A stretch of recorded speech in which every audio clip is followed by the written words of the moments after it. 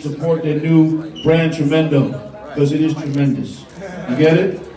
Marcus and Brandon, my little nephew, Sam's my OG. Ed is family, family, family.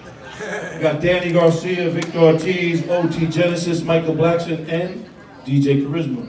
This is the first ever hip hop museum, recording studio, dispensary that we opened for the culture. We're selling paintings from my guy Christopher Wallace.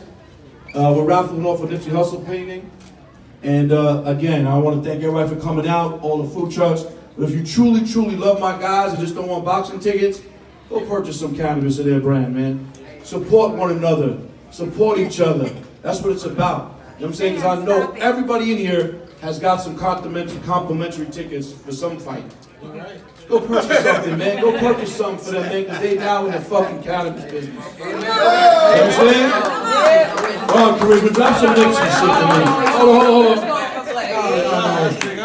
Uh, man, what a day, what a day. I'm keeping one it 100. Yeah, no, you're right. Hold on, You're let me get a rough like last night. Yes, we broke up the fight last So last night, bro? night. So, um, we do thank you guys for coming out. We do appreciate you guys for supporting the brand. Like Steve said, you know, support us. We support you guys in everything you do. I've been going to Little League baseball games with a lot of y'all kids and all that.